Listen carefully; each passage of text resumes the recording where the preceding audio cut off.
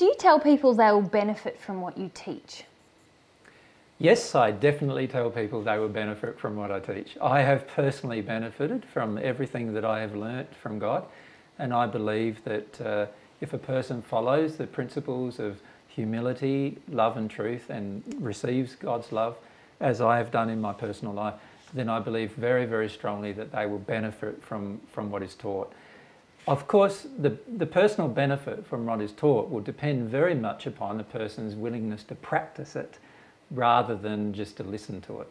So what I find quite frequently is lots of people feel very attracted to listen to the divine truth, but not very attracted often to practicing the divine truth. And the reality is listening to it, while it may be beneficial in terms of allaying some of your fears and helping you understand some basic truths, it's not going to be beneficial very much to your life because your life choices are going to be dependent upon you acting upon truth, upon you acting upon love, upon you becoming a more humble person.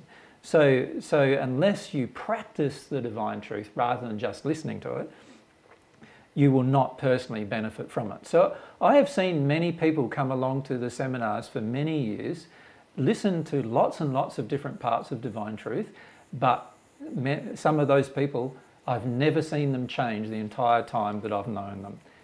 Other people, I've heard them listen to one seminar and I've seen them change. And that is because some people have a desire to put into practice the principles they're learning and put into practice this relationship with God. What I'm finding is that a lot of people are attracted to divine truth for, for lots of different reasons, but not many people are willing to put into practice this relationship with God and develop their personal relationship with God. That's the thing that I believe will have the greatest benefit to their personal life. So, what I would like to encourage people to do is yes, listen to the divine truth, listen to what we present, but don't just stop there because if you listen without putting anything into practice, all of the listening is a waste of your time. You might as well go away and listen to something else if that's the case.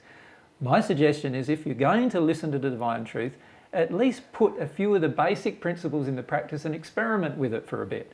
At least do that, because if you do that, then you will feel changes happen in your life and then it will personally benefit your life. I certainly promise to a person that it will personally benefit their life as long as they practice it sincerely. There's a lot of ifs in there, obviously. Um, if they practice it sincerely, and if they take personal responsibility for their life, and if they become more humble, and if they receive divine love, and if they focus on more truth, it will definitely benefit their life. but if you just come along and listen and do none of those things, then it won't have much benefit in your life at all.